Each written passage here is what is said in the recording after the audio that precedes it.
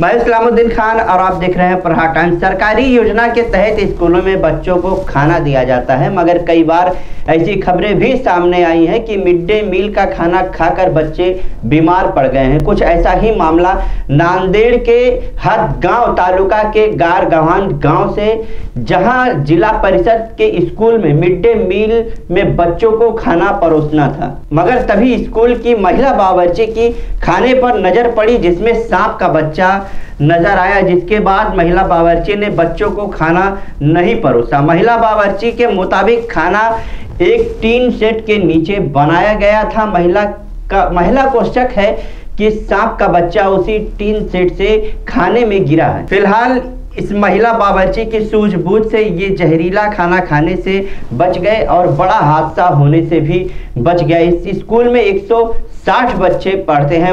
मामला सामने आने के बाद स्कूल कमेटी ने बीडीओ यानी ब्लैक डेवलपमेंट ऑफिसर को शिकायत की है। शिक्षण अधिकारी ने भी इस मामले की जाँच के आदेश दिए हैं। इस घटना से एक बार फिर मिड डे मील पर सवाल खड़ा होता है कि खाना बनाते वक्त सावधानी क्यों नहीं बरती जाती है? इससे पहले भी मिड डे मील मिलने वाले खानों में कई बार शिकायतें सामने आई हैं। हालाँकि जो मिड डे मील में खाना दिया जाता है, उसकी क्वालिटी को लेकर भी विवाद हमेशा से हो रहा है। तमाम खबरों को जानने के लिए देखते रहिए प्रहार टाइम्स।